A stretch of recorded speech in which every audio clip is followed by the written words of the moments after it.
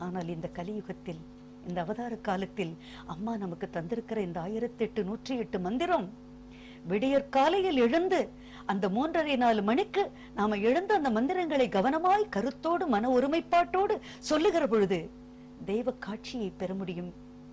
நீ அம்மா சொல்லுகிறார்கள் இந்த ஆயிரத்தி எட்டு நூற்றி எட்டு மந்திரங்களை மன ஒருமைப்பாட்டோடு அந்த விடியற்காலை பொழுதில் நீ மனம் கலந்து தெய்வ நினைவோடு சொல்லுகிற பொழுது நீங்களும் சக்திமயமாகி விடுகிறீர்கள்.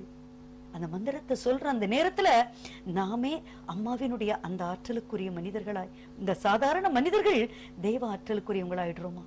அம்மா அந்த மந்திரத்தை படிச்சிரு படிச்சிரு. அந்த மந்திரத்தை படிக்க அம்மா நம்மை தட்டி எழுப்புவது போல எழுப்பிடுவா. ஒரு ரெண்டு நாள் முயற்சி செஞ்சா போதும். ஆனால் அடுத்த மூன்றாவது நாள் நம்ம யாரோ அழைத்து கூப்பிடுவதைப் போல ஏன்னா சீக்கிரம் எந்திரிச்சு பால் சாப்பிட்றடா டேய் ராத்திரி தூங்கிடாதடா தம்பி எந்திரடா. சீக்கிரமா பள்ளிக்கூடம் போகணும்டா.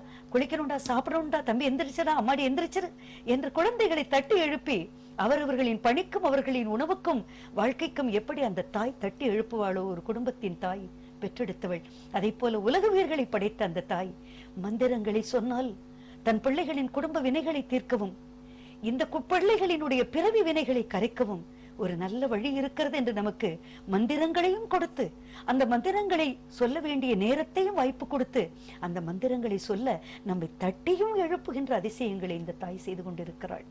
அம்மா தந்திருக்கிற இந்த மந்திரத்தின் வலிமையை நாம நினைச்சு பார்க்கிறப்போ ஒரு பெரிய ஞானவான் நிறைய பறைய பல ஞான நூன்களை கற்றறிந்தவர் சன்னியாசி வாழ்க்கையை மேற்கொண்டவர். ஆனால் அவருக்கு ஒரு கட்டத்திலே சன்னியாச வாழ்க்கை என்பது பிரம்மச்சாரியம் என்பதும் பேசுவதற்கு மிக சுலபமான வார்த்தை. ஆனால் அது வாழ்க்கை என்பது அப்படியே நெருப்பாற்றின் மீது ஒரு மயிர் பாலத்தின் மீது ஒரு மயிர்கற்றையின் மீது பாலம் அமைத்து நடப்பதைப் போல. அதனால் தான் இந்த பிரம்மச்சாரியம் சந்நியாசம் என்ற நிலைகளை அம்மா ஒருபோதும் நமக்கு உணர்த்துவதில்லை. முதலில் மனிதனாக வாழ்ந்து பார். புனிதனாக வாழ முயன்றால் புண்ணியம்தான். மகானாக வாழ முயன்றால் மகத்துவம்தான். ஆனால் அடிப்படையில் நீ பிறந்த இந்த மனித வாழ்க்கையை புரிந்து கொள் உன்னை சுற்றி இருக்கும் மனிதத்தின் மகத்துவத்தையும் தெரிஞ்சுக்கோ. இது புரிந்தாலேயே உன்னுடைய வாழ்க்கையின் பிறவியின் அற்புதம் புரிந்து போகும். எனவே இங்கே யாரும் சன்னியாசியாகவோ பிரம்மச்சாரியாகவோ வாழ வேண்டிய அவசியமில்லை.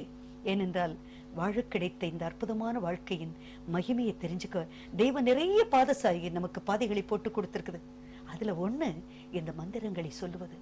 அப்படி மந்திரங்களை சொல்லக்கூடிய நிலையில இந்த ஞானவானாக நிறைய ஒரு ஞான பண்டிதன் ஏற்றாள் அவர். பலரிடம் தீட்சை பெற்று பல விஷயங்களை தெரிஞ்சு காசி ரிஷிகேஷம் என்று பல ஆண்டுகள் வாழ்ந்து கடைசியில் தென் திசையில ரொம்ப சலிப்போடு வெறுப்போடு வாழ்க்கையே ஒரு வெறுமையானது போல வந்து சேருகிறார் தன்னுடைய ஒரு ஆதிபராசக்தி தொண்டரின் துணையோடு. அம்மாவிடத்தில் அருள்வாக்கு கிடைக்குது. அம்மா உங்களை எல்லாரும் தாயே நீ ஆதிபராசக்தி வந்திருக்கேன்னு சொல்றாங்க.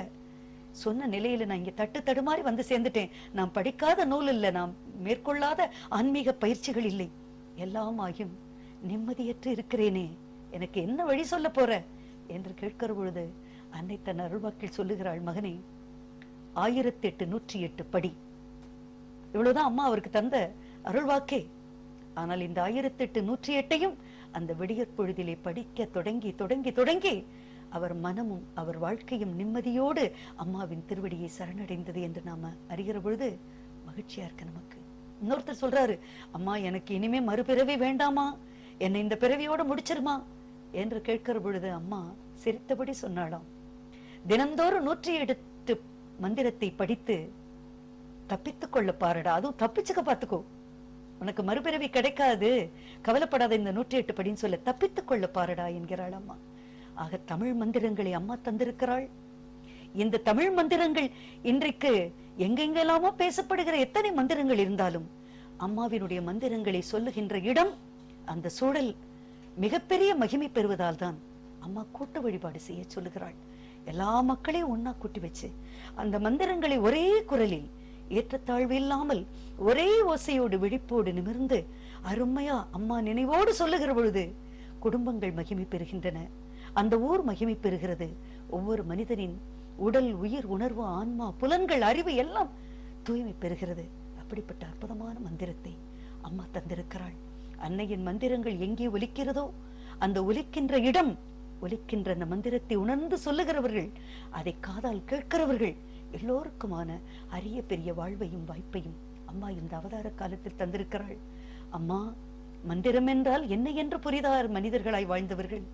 அந்த மந்திரத்தை எப்படி படிக்க வேண்டும் என்று விவரம் தெரியாதவர்கள். ஆனால் இந்த யுகத்திலே நீ தமிழ் மந்திரம் தந்து எங்களை வாழ வைக்க வந்திருக்கிறாய் தாயே. அந்த மந்திரங்களை உரிமையோடும் உணர்வோடும் அம்மா தந்த மந்திரம். என்னையும் என் குடும்பத்தையும் எங்கள் வாழ்க்கையும் நாங்கள் வாழ்வோம். இந்த உலகத்தையும் காக்க அம்மா தந்த மந்திரம் என்ற உண்மையின் சிறப்பை தெரிந்து கொண்டோம் தாயே. புரிய வைத்தாய் தாயே. என்ன தவம் என்ன தவம் யான் செய்தேன்